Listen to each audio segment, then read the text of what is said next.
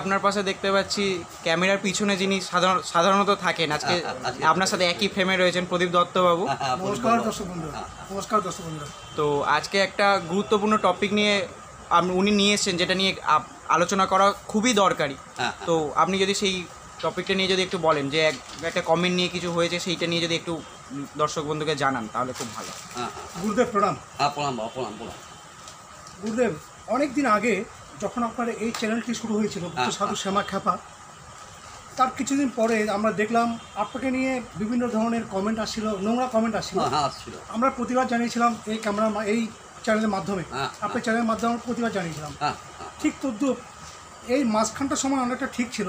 আবার হঠাৎ দেখলাম অন্য ধরনের কিছু একটা প্রতিবাদ আপনার বিরুদ্ধে হচ্ছে যেটা আমার অপপ্রচার। অপপ্রচার হচ্ছে যেটা আমার কিংবা আমাদের যারা গুরু ভাই আছেন আমাদের কারও পছন্দ নয় হ্যাঁ। ব্যাপারটা হচ্ছে দর্শক বন্ধু আপনাদের একটা কথা জানাচ্ছি। ব্যাপারটা হচ্ছে গুরুদেব আমাদের কাছে যে কি সেটা আপনাদের আমরা আম- যেমন বুক ছেড়ে দেখিয়েছিলেন হনুমানকে যদি সেরকম ক্ষমতা থাকতো তাহলে আমরা দেখাতে পারতাম গুরুদেব আমাদের কী আছেন। সেই হিসাবে আজকে বলছি যে অপপ্রচার হচ্ছে গুরুদেবের নামে। কোনো মুসলিমীয় লোক কিছু সংখ্যক লোক যেভাবে গুরুদেবের নামে অপপ্রচার করছেন এবং অপপ্রচারটা করছেন কোথায়? সেটা করছেন এমন একটা জায়গায় তারাপীঠের মতো একটা জায়গায় যেখানে গুরুদেব দীর্ঘ বারো বছর তপস্যা করেছিলেন সাধনা করেছিলেন। সেখানটায় গিয়ে গুরুদেবের নামে বিভিন্ন রকমের অপপ্রচার চালানো হচ্ছে নোংরা অপপ্রচার চালানো হচ্ছে যেটা আমরা আমরা গ্রহণ করতে পারছি না বিশেষ করে আমরা যারা গুরুদেবের খুব কাছের ভক্ত শিষ্য আছে। তো গুরুদেব আপনি বলুন এখন আপনার মুখ না শুনতে চাই। তিনি বলছেন তিনি একটা আত্ম ছাগল। ছাগল ছাগলা ছাড়া তো এসব হতে পারে না। আর ছাগলে কোনো বোধজ্ঞান আছে? অবোধ ছাগলে কোনো নেই। এই সব ছাগল কিছু জন্মেছে আগাছা। বলতে পারো ছাগল তো। এদের কেটে খেয়ে নেওয়া উচিত। এটা হচ্ছে ছাগলা। ঠিক আছে না? এদের বলা হয় ছাগলা। তো এদের বোধজ্ঞান কিছু নেই আবোধ এরা। এরা নিজেরাই মদ খায় এরা নিজেরাই লাটসাবি করে আর মানে আমাদের নামে দোষ ছাপায়। আমি এমন একটা লোক আজ পর্যন্ত মদ ছুঁইনি। এবং আমি কোনো রকম আমার চালচলনে, কোনো এ নেই। সাদা জামা কাপড় একটা পরে থাকি। এই পর্যন্ত আর আমার কোনো চালচলন নেই। মানে কাউকে আমরা, আমি মানে কোনো ছোটো বড়ো কথা বলি না। এখন এইটাই যদি মানে ঠিক হয়ে থাকে, তাহলে আমি বলব, উনি যা বলছেন পুরোটাই ছাগলার কথা। ছাগল এরকম কথাবার্তা বলে। ঠিক আছে না? এ নিয়ে উত্তক্ত হয়ে লাভ নেই। তো আমাকে সবাই চেনে। হয়তো ওর মতো দু একটা ছাগল তো আছে। বাজারে পাওয়া যায়। এদের এদের কিনে কেটে খেয়ে নেওয়া উচিত। কিনে কেটে খেয়ে নেওয়া উচিত আমার মনে হয়। কারণ ও আমার সম্বন্ধে কিছু না জেনে মন্তব্য করেছেন। ওকে ঠাঁটিয়ে একটা চর মারা উচিত আমি দেখা পেলে কোনো দিন ওই ঠাঁটিয়ে একটা চর মারবো। ওর নাম ভুলিয়ে দেবো। না এখন তো গুরুদেব আমরা বুঝতে পারছি না কে এভাবে ছড়াচ্ছে না না ছড়াচ্ছে মানে কি? আমি বলছি তোমাকে কোনো একটি ছেলে আমারই খুব কাছের ছেলে আমাকে খুব ভালোবাসে। তুমি নামটা কি বলো অনির্বাণ মজুমদার সে অনির্বাণ, অনির্বাণ- পাওয়া আপনার কাছ থেকে সে স্বপ্নে দীক্ষা পেয়েছে। হ্যাঁ দীক্ষা পেয়েছে স্বপ্নে দীক্ষা পেয়েছে সব হয়েছে। সে তারাপীঠে যখন গেছে তাকে বলেছে আমার নামে দু চারটে কথা বলেছে।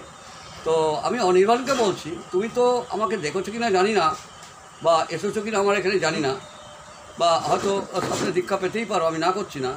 কিন্তু এসব ছাগলাদের সঙ্গে বেশি মেধামেধি করো না। তারাপীঠে অনেক ছাগল আছে তারাপীঠে আসল যারা আছেন, তারা কেউ কিন্তু আমার সম্বন্ধে কথা বলবে না। দু একটা ছাগল দেখবে ঘুরে বেড়ায়। হ্যাঁ এরা এই এদের কাজই হচ্ছে, এদের কাজই হচ্ছে এই গাছের পাতা খাওয়া। এ গাছের, ও গাছের, সে গাছে পাতা খেয়ে বেড়ানো। ভালো মন্দ তো কিছু বোঝে না, বোঝার ক্ষমতাও নেই। এইসব ছাগলের থেকে দূরে থাকো। আমি একটা অনির্বাণ তোমাকে কথা বললাম। কারণ আমি, তুমি যা বল, লিখছ, আমি সেখানে একটা অংশ আমি তোমার সঙ্গে একমত হতে পারলাম না। কারণ আমি মদ খাই না, এক নম্বর কথা। আমার কোনো বেচাল নেই। একটা সিম্পল ড্রেস পরে থাকি, কোনো বেচাল নেই। আর আমার তো আভিজাত্যতা বলতে এই সাদা জামা, সাদা কাপড়, আর কিছু নেই। ঠিক আছে না? তা ওরা হয়তো ওই ছাগলটা জানে না আমার সম্বন্ধে। না জেনে হয়তো মন্তব্য করে দিয়েছে। হয় জানে না, আর তাছাড়া হয়তো মনে হয় নিজে খায় তো। আর নিজে খায়, মদ মেয়ে ছেলে করে। তা এইসব ছাগলদের তো সবসময় অন্যের বাগানের দিকে নজর। ছাগল ছাড়া থাকে তো? অন্যের বাগানের দিকে নজর। যা ফুল গাছ বা যা কিছু আছে, খেয়ে তাই তো আর কোনো ব্যাপার নেই। এইসব ছাগলার থেকে দূরে থাকে অনির্বাণ ঠিক আছে না? এরা ভয়ঙ্কর ছাগলা। এই এইটাই তোমাকে বলব বারবার করে। কারণ কথা হচ্ছে যে, যেখানে আমার আমার সিদ্ধ জায়গা, যেখানে বামদেব বাবা আছেন, তারাপীঠে মা তারা আছেন, আটটা তারা আছেন, তো এখন ওখানে আমি মদ খাব, আমি নিজেই এখনও চিন্তা করতে পারি না। এবং আমার বেশভূষাও কিছু নেই। সাদা একটা কাপড় জামা, একটা চাপা জামা এই হচ্ছে আমার বেশ আর আমি কখনো উচ্চাকাঙ্ক্ষী নয় কাউকে কখনো মানে কোনো রকমভাবে ডিসরিগার্ড করি না কাউকে ঠকাই না কারোর থেকে পয়সা চাই না। কিন্তু এই সব লোকগুলো তোমাদের মতো লোককে মিসলিড করছে এটা ব্যাপারে একটু সাবধান থেকো। হ্যাঁ পরের দিকে কিন্তু এটা নিয়েই তোমার অনেক গণ্ডগোল হবে। বন্ধু বন্ধুরা আপনাদের জানাচ্ছি একটা ব্যাপার বিশেষ করে। আমরা গুরুদেবকে যতদিন ধরে চিনি আমরা গুরুদেবকে একটু সাধারণ মানুষ হিসেবে জানি। এবং এখানে অনেকে আসেন যারা অত মধ্য অবস্থা অনেকে আসেন যেহেতু শ্মশান উনি প্রতিবাদ করেন এবং আমাদের দিয়েও প্রতিবাদ করান। যে লোকটা এরকম ওনার নামে এরকম একটা বদনাম বা দুর্নাম সেটা আমরা সহ্য করব না। আজকের এই এপিসোডে কিন্তু গুরুদেব বসতে চাননি। আমরা জোর করে বসালাম। বসি আজকে। সামনে পেলে তো একটা ঠাটিয়ে চাপড় মারবো থাপ্পড় মারবো মুখে না গুরুদেব তাহলে আমি- পায়ে জুতো মারবো। আমি দ- দর্শকদের উদ্দেশ্যে- বলতে চাই। গুরুদেব আপনি তো আজকে বসতে চাননি এই এপিসোড করতে চাননি। না। আমরা জোর করে আপনাকে আজকে বসালাম কেননা আপনার নামে যে বদনামটা হচ্ছে অপপ্রচার হচ্ছে হ্যাঁ। সেটা আমরা সহ্য করতে পারিনি বলে আজকে আপনাকে আমরা জোর করলাম যে গুরুদেব বসুন হ্যাঁ, ইউটিউবে বলুন দর্শকদের কিছু জানান। সেটা ঠিক আছে। ওই জন্য আজকে গুরুদেব আপনাকে আমাদের পাশে পেয়ে এইভাবে বলার একটা সুযোগ পেলাম। এবং যারা অজ্ঞ আছেন যারা গুরুদেবকে জানেন না যারা গুরুদেবের অ্যান্টি আছেন যারা আমি বলব এলিমেন্টস যারা জীবাণু যারা আছেন ওনারাই গুরুদেবের নামে এই ধরনের নোংরা কথাবার্তাগুলো বলছেন। সুতরাং আপনারা যারা গুরুদেবকে শ্রদ্ধা ভালোবাসা শ্রদ্ধা করেন ভালোবাসেন সম্মান করেন আপনারা এই ধরনের কথাবার্তা শুনলে আপনারা একটু এর প্রতিবাদ করবেন যেহেতু আপনারা গুরুদেবকে জানেন। সুতরাং সেই কাজটা আপনারা করবেন। গুরুদেব আমাদের একদিন একটা গল্প বলেছিলেন যে গুরুর জন্য ওনার গুরু অসুস্থ গুরুদেব একটু বলুন না সেই ঘটনাটা। ওই যে গুরু অসুস্থ ছিলেন শিষ্য গেলেন। ও আচ্ছা আচ্ছা। সেটা ওই তোমার আমাদের ওর নাম বলো না। লোকনাথ বাবা। হ্যাঁ লোকনাথ বাবার কাছে একজন থাকতেন আর লোকনাথ বাবারই খুব কাছের একজন। ওই কী নাম বলো? ঠিক গুরুদেব বলতে পারছেন তবু বলুন। হ্যাঁ। তো ওনারও একটা চেলা ছিল যিনি সবসময় ওনার কাছে থাকতেন। তো এখন হ্যাঁ, মানে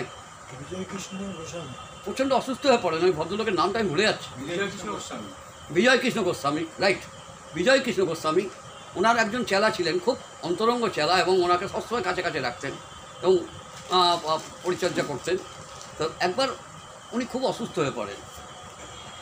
খুব অসুস্থ হয়ে পড়েন ওই ইয়ে। আমাদের কী নাম? বিজয় কৃষ্ণ গোস্বামী খুব অসুস্থ হয়ে পড়েন এবং তার চেলা দেখে মানে কিছু উপায় না পেয়ে ও তখন কচুয়ার উদ্দেশ্যে যাত্রা করেন ওই বাবুকে। নিয়ে আসার জন্য। তা অনেক রাস্তা তো। তা উনি হেঁটে গেছেন।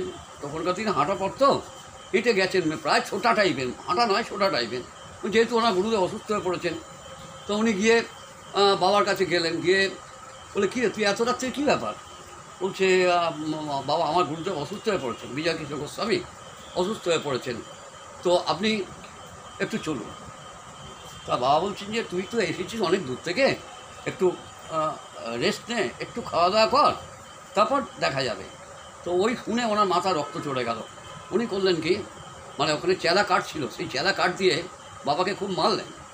মেরে উনি আবার ছুটতে ছুটতে গুরুদেবের কাছে এসে দেখেন, গুরুদেব একদম সুস্থ। এতে বসে আছে। খাটের ওপর বসে আছে। তুই কোথায় গেছিলি? তোকে খুঁজছিলাম, অনেকক্ষণ ধরে পাচ্ছি না। বেশ কিছুক্ষণ হয়ে গেছে। তো আর তখন কোনো কথা বলতে পারছে না। তখন বলল যে, আমি একটা অন্যায় করে ফেলেছি। তার অন্যায় এ করতে যাচ্ছি আমি। অন্যায় করলে মানে ক্ষমা ক্ষমা, ক্ষমার জন্য যাচ্ছি। তো উনি ঠিক বুঝতে পারেননি। কী বলতে চাইছিস? তখন বলল, আমি সব এসে বলব আপনাকে। আগে আমাকে ছেড়ে দিন কিছুক্ষণের জন্য। আবার উনি গেলেন। গিয়ে ওনার পায়ে ধরলেন। কারণ লোকনাথ বাবা অনেক আগে ওনার কাছে এসে গেছেন। শুধু এসে গেছেন না, ওনাকে ট্রিটমেন্ট করে দিয়েছেন পর্যন্ত। উনি সুস্থ একদম। এইবারে লোকনাথ বাবার কাছে গিয়ে পায়ে ধরে জড়িয়ে ধরেছে, আমাকে মাফ করে দাও। বলো, কী কাজ করিস? এমন কী কাজ করেছিস? দিয়ে তোকে মাফ করে দেবো? বলে, না, ওই যে চেলা কাঠের বাড়ি আপনাকে মারলাম। বলে, কোথায়? আমার তো কোনো গায়ে দাগ নেই। কখন মেরেছিস? ওকে বলল। বলল, যা, আমি তোকে আশীর্বাদ করছি। ও, তো অবাক হয়ে গেছে। তুই আশীর্বাদ করছি কি ব্যাপার? আয়, তোকে আশীর্বাদ করি।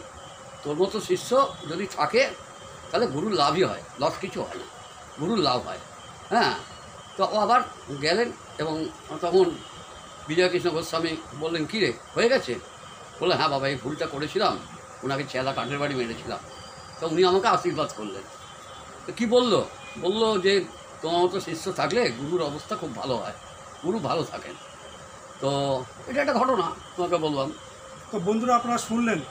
গুরুকে যদি ভালোবাসতে হয় এমনভাবে, ভালোবাসবেন যে গুরুর অপপ্রচার কিংবা গুরুর বদনাম যদি শুনলে তার সঙ্গে সঙ্গে প্রতিবাদ করবেন। কমেন্ট করে জানানোর কোনো দরকার নেই।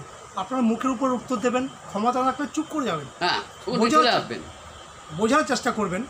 তো গুরুদেব এখন যে উদাহরণটা আপনাদের সামনে এক্সাম্পলটা আপনাদের সামনে দিলেন আর আপনি বুঝতে পারলেন বিজয়কৃষ্ণ গোস্বামীকে ওনার একজন শিষ্য বাবা লোকনাথের শিষ্য না বললেন? না। বিজয়কৃষ্ণ গোস্বামী হ্যাঁ শিষ্য। হ্যাঁ হ্যাঁ উনি কী করে যে ওনাকে রক্ষা করলেন বা ওনার উপরে খেপে গিয়ে মানে গুরুকে সুস্থ করার জন্যে হ্যাঁ। ওনার গুরুকে সুস্থ করার জন্যে কী করে ছুটে গিয়ে অন্যের অন্য একজন গুরুর উপরে আক্রমণ করলেন সাধারণ একজন লোক হয়ে? তো সেই হিসেবে আপনাদের ভালোবাসতে হয়। আপনাদের ভালোবাসতে হয় আমাদের এভাবে? আমাদের বামদেব বাবা কি বলতেন জানো? একটাই কথা বলতেন দেখ দাঁতাল হাতি আর মাতাল লোককে কোনোদিন বিশ্বাস করবি না। এরা ক্ষণে ক্ষণে রূপ চেঞ্জ করে। এই দাঁতাল হাতি আর মাতাল লোক, এর থেকে সাবধান থাকবে। সবাই মাতাল লোক থেকে সাবধান থাকবে। দাঁতাল হাতি আর মাতাল লোক, এই দুটো থেকে সাবধান থাকবে। যদি হাতি একটা হয় এবং দাঁত থাকে, তাহলে সে তার থেকে দূরে থাকবে। আর মাতাল লোক, এদের সঙ্গে মিশবেই না। এরা মাতাল, এদের কোনো ঠিক ঠিক না জাতের ঠিক নেই এদের কোনো। এদের কোনো জাতের ঠিক নেই। এরা যখন এইক্ষুনি বলল যে, গুরুদেব প্রণাম পরেক্ষণে একটা গাল দিয়ে বলল গালা ভণ্ডামি করছে। এই সব ব্যাপার। তো সুতরাং দাঁতাল হাতি মাতাল লোক থেকে সব সময় দূরে সরে থাকবে এটা বামদেব বাবার কথা। এরা ক্ষণে ক্ষণে রূপ চেঞ্জ করে।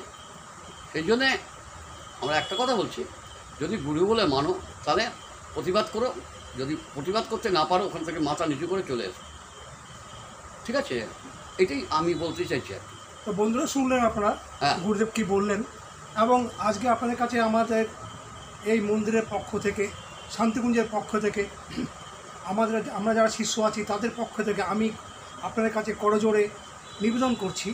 গুরুদেবের যদি এরকম দুর্নাম আপনারা শোনেন কেউ যদি অপপ্রচার করে শোনেন তাহলে আপনারা তার প্রতিবাদ করতে চেষ্টা করুন। আর যদি প্রতিবাদ করতে নাই পারেন চুপচাপ ওখান থেকে সরে আসুন। সরে খুব ভালো লাগে বলা আছে এটাই বলা আছে এটাই আমরা আগের এপিসোডে সেটা বলেছিলাম সেই দীর্ঘ এক বছর আগে আজকেও তাই বলছি।